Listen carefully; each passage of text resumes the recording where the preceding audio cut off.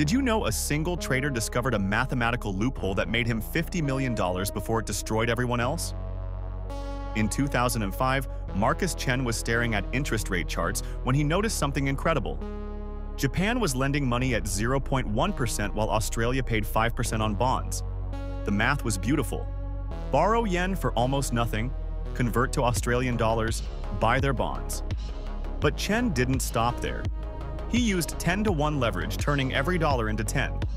A 5% spread became 50% returns on his actual money.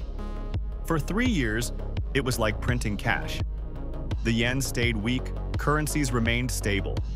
Other traders caught on. Billions flowed into the carry trade. Then 2008 hit like a tsunami.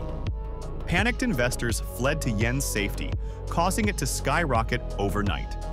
Leveraged positions exploded. Traders lost everything in hours.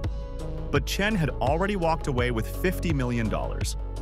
While competitors chased the last drops of profit, he understood the golden rule. The house always wins, unless you leave before closing time.